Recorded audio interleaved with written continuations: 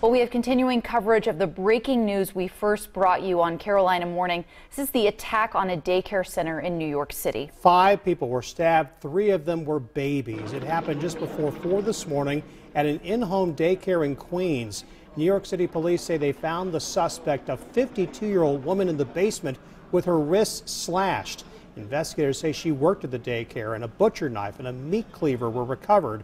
There's no word on a motive. The CBS station in New York reports the babies ranged in age from three days to one month old. All five victims are in critical condition.